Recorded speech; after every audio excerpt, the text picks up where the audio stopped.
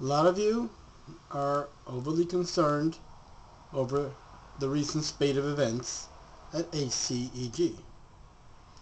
Gotta remember, this is an internet forum that exists on a space and that we are all human beings. There are very few evil people. Uh, most people are half decent and are just trying to get along.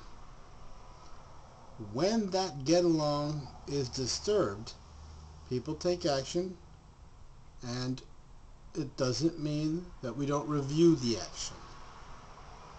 So for anyone out there who's feeling God doesn't love them or in a void of existential nothingness, I cannot seem to find a reason for my existence today without HCEG and the stability that that has provided for me, I say, hang on, give us a chance, and we'll figure it out for you.